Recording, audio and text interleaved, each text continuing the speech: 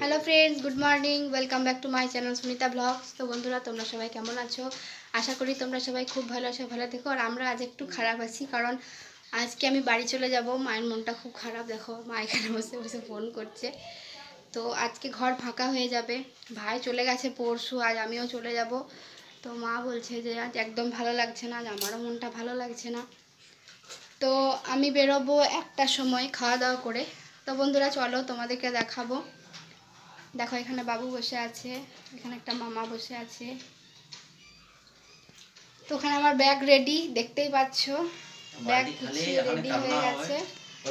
তো ফ্রেন্ডস বলো বালতি খালি আছে এখানে কান্না হবে বালতিতে এক বালতি জল ভরে দিয়ে যাব মায়ের জন্য। মামা বলছে বালতিটা খালি পড়ে আছে এখনই কান্নাতে ভরে যাবে বালতিটা। তো ফ্রেন্ডস কি বলব তোমাদের? তোমাদের দাদা ভাই আসবে আসানসোল পর্যন্ত, আমি এখান থেকে আসানসোল একাই যাব, মামা চাপিয়ে দেবে। তো চলো তোমাদের সঙ্গে সবটাই শেয়ার করার চেষ্টা করব, তো ভিডিওটা দেখতে থাকো আর সঙ্গে থাকো। ফ্রেন্ডস আমি রেডি হয়ে গেছি।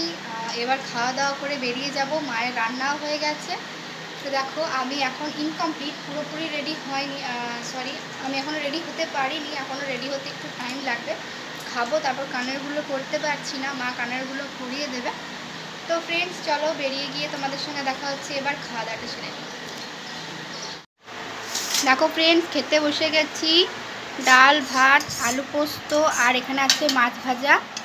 তো এটা চট করে খেয়ে নিয়ে এবার আমরা বেরিয়ে পড়ব। তো ফ্রেন্ডস দেখো বাসে উঠে গেছি, কারণ তখন মা খুব কান্না করছিল, সেজন্য আর ভিডিওটা শ্যুট করতে পারিনি। তো দেখো বাসে চেপে গেছি। আমি আর বাবু চেপে সিট পেয়ে গেছিলাম। দু ঘণ্টা রাস্তা সিট না পেলে দাঁড়িয়ে যেতেও অসুবিধা হয়, তো উঠেই সিট পেয়ে গেছিলাম বন্ধুরা।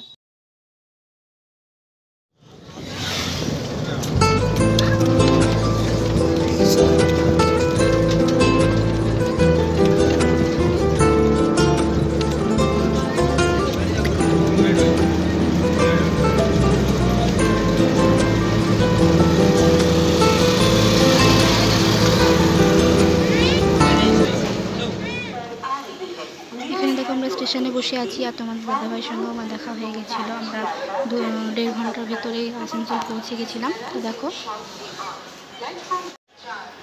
এখানে দেখো বাবু বসে আছে, চিপস খাচ্ছে, আর এখানে দেখো তোমাদের দাদাভাইও বসে আছে। দোকানের কিছু মালপত্র কিনেছিল, তো সেগুলো নিয়ে বসে আছে। তো ফ্রেন্ডস দেখো আমরা ট্রেনে চেপে গেছি ট্রেনের সিটও পেয়ে গেছি দেখো তোমাদের দাদা ভাই আমি আর বাবু আমরা ট্রেনে উঠে গেছিলাম সিটও পেয়ে গেছিলাম। আমরা তো নালাইতে গিয়েছিলাম। নালা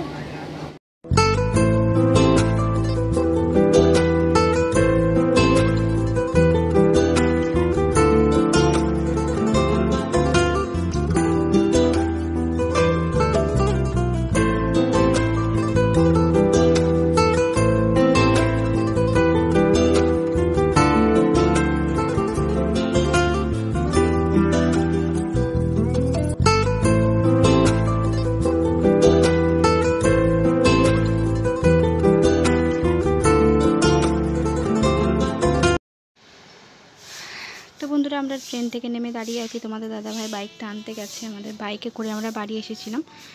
তো তারপরে আর কোনো বাড়ি এসে ভিডিও শ্যুট করতে পারিনি বন্ধুরা, কারণ প্রচণ্ড টায়ার্ড হয়ে গেছিলাম সেই জন্য তো আজকের মতো ভিডিওটা এখানে কমপ্লিট করছি। কালকে আবার নতুন কোনো ব্লগের সঙ্গে দেখা হবে। ততক্ষণ তোমরা সবাই সুস্থ থেকো, ভালো থেকো।